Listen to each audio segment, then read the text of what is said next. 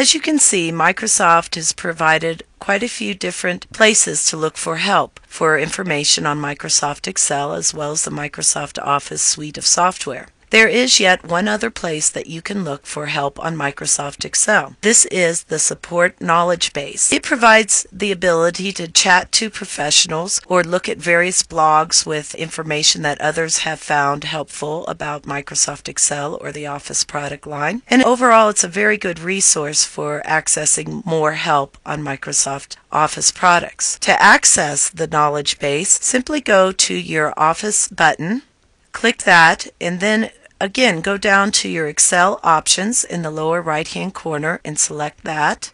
Go to Resources by selecting Resources and then click Contact Us. When you open up Contact Us, you'll be listed with a series of places that you can go to look for more help on Microsoft Excel. The one that you want is support for Microsoft Office products. This will open up the Microsoft Support Knowledge Base. And here you have information based on the product that you are using. So since we are looking for help on Microsoft Excel 2007, let's go ahead and click that link and notice that it will open up to a listing of all the various new latest releases of information and articles, topics, etc. for finding information about Microsoft Excel.